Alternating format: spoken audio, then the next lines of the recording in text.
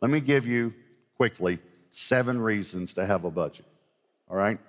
Yeah, and, and I know that math, I've already used two uh, curse words to some of you math and budget. I understand that. But number one helps us to see things more clearly and objectively if you'll get a budget. And you can write these down in another, go back and write them down if you want to later. I don't know if you can do it this quickly.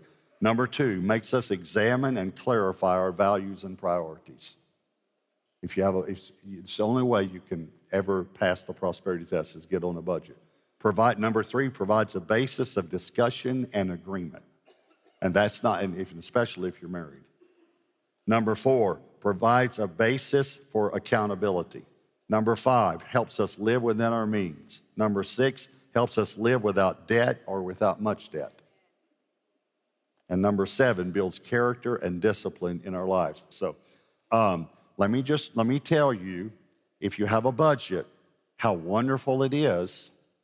Uh, because, like, let's just say your spouse comes to you, and and let, I'll use it this way: doesn't whether it's a man or woman. Let's say the man wants a new bass boat. Okay, here's what you say, honey. I would love for you to have a new bass boat, but let's see what Mr. Budget says. Oh, Mr. Budget say no. I would give you a new bass boat. Mr. Budget say no.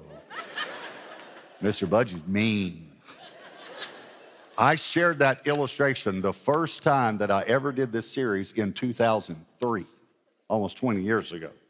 And uh, this uh, lady talked to me one time. She said, we, we, we decided we got on a budget and we started using that. Mr. Budget says no, you know. And so our kids, we decided our budget at that time, because we had a lot of debt and we had the school debt, we had to get out, we decided we got real, real uh, firm with our budget. We decided we'd go to McDonald's once a week. And so we started that, and my little four year old daughter, the back seat in her car seat, said, Mom, can we go to McDonald's twice this week? And she said, Honey, I would love to take you to McDonald's twice a week. But Mr. Budget says no.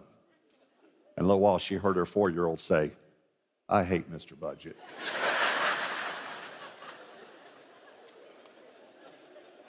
well, I'm, I know we all hate Mr. Budget sometimes, but you could eliminate 90% of the stress in your life if you would bring this area under